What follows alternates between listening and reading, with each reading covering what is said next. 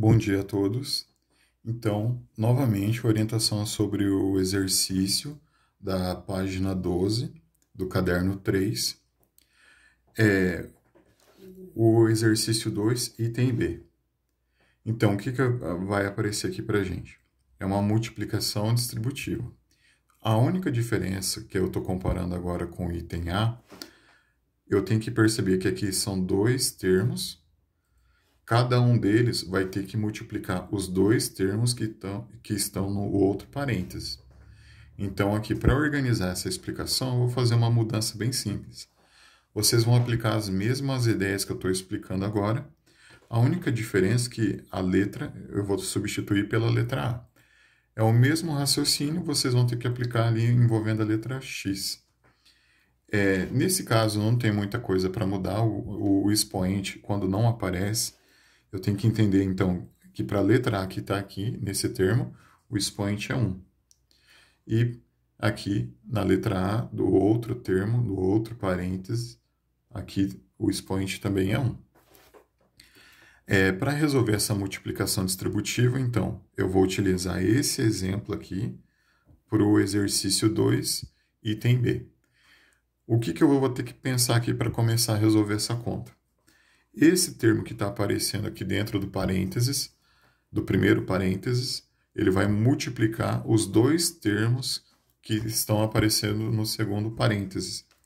Então, eu vou começar a organizar essa conta da, da seguinte forma. O 2A vai multiplicar o 3A. O 2A vai ter que multiplicar também o 5 que está aparecendo aqui.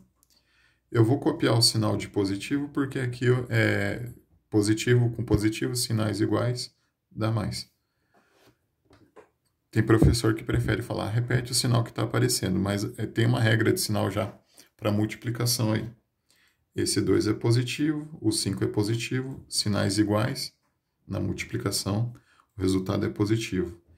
Quando eu terminar de multiplicar o 2A pelo 5, eu vou ter que entender que esse é, vai ser um resultado positivo.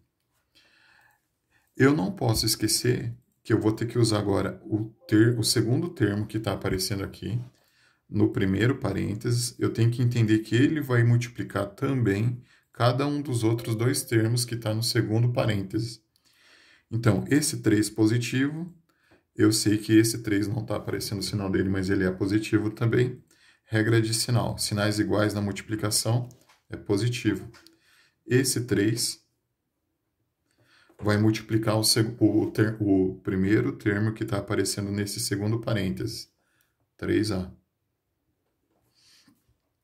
Esse 3 positivo vai multiplicar o 5 positivo. Eu já posso fazer isso direto para não perder muito tempo, porque aqui é só o número multiplicando o número, não vai ter a parte literal. É 3 vezes 5, 15. E de novo, lembrando, sempre regra de sinal, multiplicação com sinais iguais, resultado positivo. 3 vezes 5, 15. É, nessa parte da conta, a gente vai lembrar de uma leitura que tem no caderno de atividades 3. É uma orientação envolvendo é, termos semelhantes. Eu vou terminar de realizar as multiplicações que estão aparecendo e eu vou ter que identificar quais são os termos semelhantes. 2 vezes 3, 6. A vezes A, expoente 1, expoente 1 eu estou multiplicando letras iguais, então aquela ideia de potenciação. Repete a base, soma os expoentes na ordem que eles estão aparecendo. 1 mais 1. Oh, seguindo, 2 vezes 5, 10. O A que está aparecendo aqui não tem outra letra para fazer uma alteração. Eu vou repetir a parte literal que eu tenho. A única coisa que está mudando é 2 vezes 5, 10. Continua com a parte literal do A. 3 vezes 3, 9. E aqui só tem o A na parte literal, não tem mais nenhuma letra para alterar ele. E por último, o 15, a gente já tinha desenvolvido a multiplicação dele. Ele é o termo que aparece sem letra, sem a parte literal. Então agora vem a explicação do termo semelhante. 1 mais 1 aqui no expoente, 2. Então, 6a elevado ao quadrado. Esse A que está aparecendo aqui, ele não tem expoente visível, então a gente lembra que é 1. Esse outro A que está aparecendo aqui também não tem expoente visível, é 1. Então, para ser semelhante, um termo semelhante ao outro, ele tem que ter a mesma parte literal. Então, no caso aqui, eu estou olhando, é a mesma letra e é o mesmo expoente. Eu posso somar, então, o coeficiente 10 com o coeficiente 9. Eu estou falando em soma porque eu já estou vendo os dois sinais positivos aqui.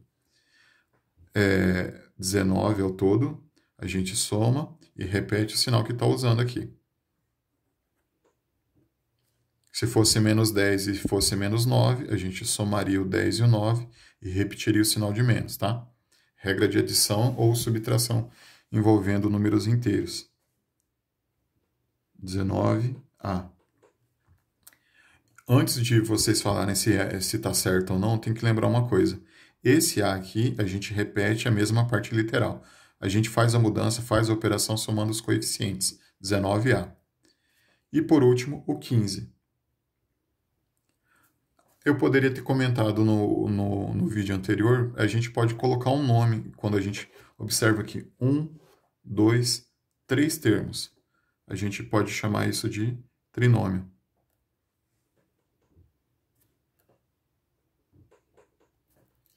É, outra, outra explicação. Quando a gente multiplicou duas letras iguais aqui, ó, e também é uma parte da leitura que está no, no caderno de atividades 3. E também se você pode, é, você também pode procurar no livro didático. Quando a gente multiplica letras iguais, aqui a gente está tendo aquela ideia de potenciação. Repete a base e somos expoentes. De novo, aqui não é visível, mas a gente sabe que é o expoente 1. 1 mais 1, 2 eu posso fazer esse cálculo diretamente, sem ter que armar essa conta aqui. Ó. Tem gente que fala que é perda de tempo, desde que não erre, tá ótimo, se acertar e colocar o A ao quadrado. Então, quando a gente multiplica fatores iguais, a gente repete ele da forma que está aparecendo aqui, repete uma vez, e soma os expoentes que tiverem, na ordem. É, quando a gente soma letras iguais, aí vem uma outra ideia. A ideia de somar letras, a gente usa a ideia dos coeficientes. Aqui não aparece, mas na frente é o coeficiente 1. Aqui não aparece, é o coeficiente 1. O que, que eu tenho que entender? Uma letra A mais uma letra A. Ao todo são duas letras A. A diferença aqui, quando a gente multiplica, a ideia de somar os expoentes, a gente coloca o resultado aqui, expoente 2. Quando a gente soma letras iguais, a ideia de somar os coeficientes, ele aparece aqui na frente. É.